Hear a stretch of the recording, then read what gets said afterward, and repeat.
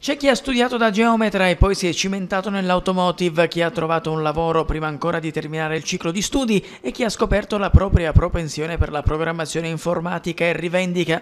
Chi lo ha detto che sono lavori da uomini? La visita di Mario Draghi all'ITS Cuccovillo di Bari è tutta per loro. Il Premier ci arriva dopo la tappa nell'area industriale dopo aver visitato i laboratori all'interno. Le risorse per il Sud ci sono, i ritardi nella spesa sono una tassa sul vostro futuro, dirà loro dal palco. Molti sono assenti perché impegnati impegnati nelle aziende che li stanno formando, precisa la Presidente Scattarelli. La Regione ha investito 40 milioni di euro nel sistema degli ITS pugliesi. Nessuno spazio per la polemica politica. Antonio De Caro ribadisce l'exit strategy dallo stereotipo di un sud arretrato, sempre intento, racconta, a rincorrere un treno che non riesce mai a prendere. Michele Vigliano rilancia, siamo pronti a candidare Taranto a polo dell'idrogeno. I pugliesi sono nati pronti.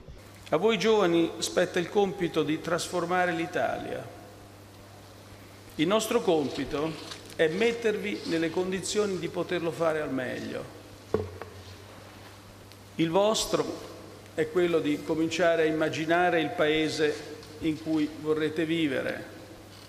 Preparatevi a costruirlo con passione, con determinazione e perché no, anche con un pizzico di incoscienza. La Regione Puglia ha investito più di 40 milioni di euro dando eh, vita a ben sette fondazioni che si collegano direttamente alla, eh, alle problematiche produttive delle aziende pugliesi nei vari settori, in particolare uno, il settore biomedico.